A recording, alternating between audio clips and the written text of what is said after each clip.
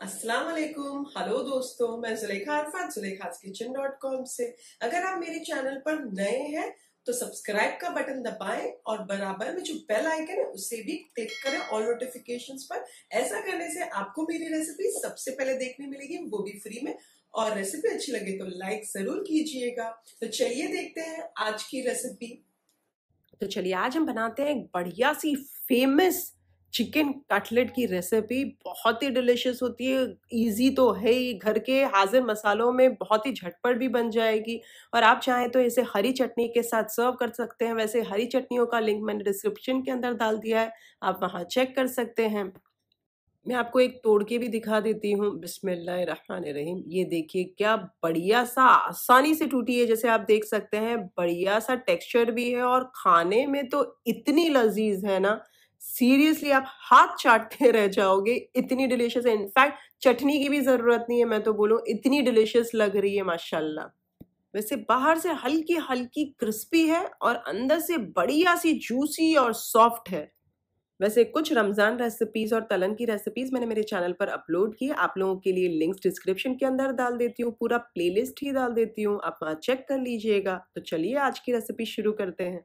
ये है आधा किलो चिकन कीमा मैंने थाई पोर्शन का कीमा करवाया है, आप चाहें तो ब्रेस्ट पोर्शन का भी करवा सकते हैं। वैसे थाई पोर्शन के कीमे से कटलेट जूसी बनते हैं। मैंने ये कीमे को दो तीन पानी से धो लिया, नितारने के लिए 10-15 मिनट के लिए साइड पर रख दिया था कि सारा पानी निकल जाए। जब पानी निकल जाए तो छुरी की मदद से इस तरीके से और बारीक कर लीजिए, क्योंकि मेरा ये थोड़ा मोटा था अच्छा बारीक करना है। लेकिन हाँ याद रहे, आपने पीसना नहीं है, ना ही ग्रेटर या इसके अंदर आपने चॉप करना है। आप हाथ की मदद से छुरी से ही घर पर चॉप कर लीजिए, उससे ज़्यादा बेहतर टेस्ट आएगा। अब उसके बाद एक प्याली में डाल दीजिए और एक बारी हरी मिर्ची काट कर डाल दीजिए। मैंने एक डाला है अपने स्वाद अनुसार कम या ज़्यादा डाल सकते हैं। दो टेबल स्पून भरकर अदरक लहसन का पेस्ट डाल दीजिए।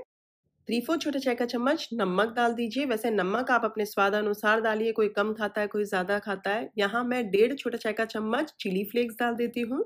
वन फोर्थ और आधा छोटे चाय के चम्मच के दरमियान में काली मिर्चों का पाउडर तीन छोटे चाय के चम्मच भुना हुआ और दरदरा पीसा हुआ साबुत धनिया। एक या सवा छोटे चाय का चम्मच भुना हुआ और साबुत पीसा हुआ जीरा powder, one fourth teaspoon garam masala powder, एक छोटे चाय का चम्मच chaat masala, one fourth cup बारीक कटी हुई कोथमीर, आप इसे धनिया पत्ता कह सकते हैं। और यहाँ मैंने दो मीडियम साइज़ आलू को बॉईल कर लिया था पहले ही और छील निकाल कर इसमें मैं अभी डाल देती हूँ। आपके पास बड़ा आलू हो तो आप एक लीजिएगा, मैं दो मीडियम साइज़ ले रही हूँ, आप चाहें तो ग्रेट करके भी डाल सकते हैं। एक ब्रेड लीजिए, उसे साफ़ पानी में इस तरीके से उलट पलट कीजिए तो पानी सोक कर ले फ्यू सेकेंड्स के लिए। उसके बाद हाथों से अच्छे से निचोड़ लीजिए और इसमें डाल दीजिए। इसी तरीके से चार ब्रेड का आप इस तरीके से पानी में डालकर, गीला कर कर उसे निचोड़ कर ये जो हमारा चिकन का मिक्सचर है, इसमें डालते जाएँ। अच्छा हरी मिर्च, काली मिर्च और चिली फ्लेक्स अपने स्वाद अनुसार लीजिएगा। चाट मसाला ना हो तो आमचूर का पाउडर डाल सकते हैं। आप कम या ज़्यादा अपने स्वाद अनुसार कर सकते हैं। बहुत ही अच्छे से सारी चीज़ों को मिक्स कर लीजिए।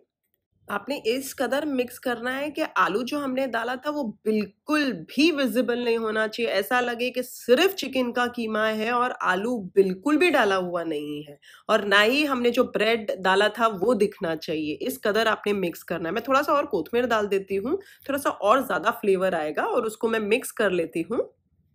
एक घंटे के लिए आप इसे ढक कर फ्रिज में रख दीजिए। अगर आपके पास समय ना हो तो यहीं से कंटिन्यू कीजिए। एक घंटे के बाद हाथों में तेल लगाइए या पानी लगा सकते हैं। मैं तेल का इस्तेमाल कर रही हूँ। एक मीडियम साइज़ पोर्शन लीजिए, उसका बॉल बनाएँ और उसे चपटा करते जाएँ बीच में से और साइड में हल्का हल्का शेप देते जाएँ। इसमें कोई ऐसी ये नहीं है कि आपको एकदम परफेक्ट राउंड एकदम चाहिए, कुछ नहीं। आप जितने चपटा करते जाएँ बीच में से, उतना आप चपटा कर सके, उतना चपटा कीजिए और प्लेट में डालते जाएँ। इसी तरीके से आप सारे बना लें। तकरीबन मैंने लमसम बारह बनाए हैं। आप चाहें तो पहले बारह पोर्शंस कर सकते हैं तो आपको इक्वली मेज़रमेंट मिल जाएगा। मैंने तो ऐसे ही रफली बारह निकाल लिए हैं इसमें से। कुछ को मैं अभी बना रही हूँ पाँच छः को और बाकी के छः सात को मैं फ्रीज़र में स्टोर कर कर दो तीन दिन के बाद बनाऊँगी। तो चलिए अब हम फ्राई कर लेते हैं। वैसे मैंने कुछ दिनों के लिए इसे डीप फ्रीज करने रख दिया था। मैं आपको अभी प्रोसीजर बता देती हूँ। एक चपटा सा कंटेनर लीजिए। नीचे आप चाहे तो बटर पेपर रख सकते हैं या फिर मेरी तरह प्लास्टिक रख दीजिए। प्लास्टिक को मैंने तेल से नीचे ऑल ओवर लगा दिया तेल और उसके ऊपर मैंने ये दोनों कटलेट दो कटलेट को बराबर में रख दिया। फिर से एक प्लास्टिक की शीट लगाई और उसके ऊपर तेल लगाया। फिर से दो कटलेट रख दिए चिकन के, इसी तरीके से फिर से एक प्लास्टिक लगाई बीच बीच में प्लास्टिक रखते जाएँ और ऊपर चिकन कटलेट रखते जाएँ। तीन लेयर बनाएँ, उससे ज़्यादा ज़्यादा लेयर मत डालें। तो मैंने ये यहाँ, ये छः सात थे, इसे ऐसी लेयर करके मैंने डीप फ्रीज करके रख दिया था। आप चाहें तो पंद्रह बीस दिन तक इसे रख कर खा सकते हैं। जब भी मन करे, निकाले, थौ करें और इसे फ्राई करें। अगर आप डीप फ्रीज दो तीन दिन के लिए कर रहे हैं तो ठीक है, आप ऐसे ही रख सकते हैं। लेकिन अगर आप जब पंद्रह बीस दिन के लिए डीप फ्रीज करना चाहते हो तो जब आप वार लेते हो ना इसे शेप दे देते हो ना तो उसके बाद थोड़ा सा जो ब्रेड क्रम्स है, उसमें अच्छे से लोटिए उलट पलट कीजिए और फिर उसे इस तरीके से डब्बे में डालकर फ्रीज करके रखिएगा। फ्राई करने के एक घंटे पहले मैंने चिकन कटलेट को फ्रीज़र में से निकाल कर बाहर रख दिया साइड पर। अब एक बाउल के अंदर एक अंडा डालिए थोड़ा सा नमक डालकर इसे मिक्स कर कर साइड पर रख दीजिए। वैसे मेरे बचे हुए छः सात ही हैं कटलेट तो मैं एक अंडा ले रही हूँ। अगर आप बारह के बारह बना रहे हो एक साथ तो दो अंडे डालकर, नमक डालकर मिक्स कीजिएगा। एक फ्राई पैन के अंदर तेल डालिए अच्छा गर्म हो जाता है तो उसे स्लो टू मीडियम आँच के बीच में रखिए। एक कटलेट लीजिए, ये जो अंडे का मिक्सचर है, उसमें उलट पलट कीजिए, लोटिए इसे अच्छे से चारों ओर से, और जब लोट ले तो बिस्मिल्लाहिर्रहमानिर्रहीम बोलकर ये गरम तेल में डाल दीजिए। इसी तरीके से दूसरा लीजिए और इसे उलट पलट कीजिए अंडे के मिक्सचर में और उसे भी गरम गरम तेल में डाल दीजिए।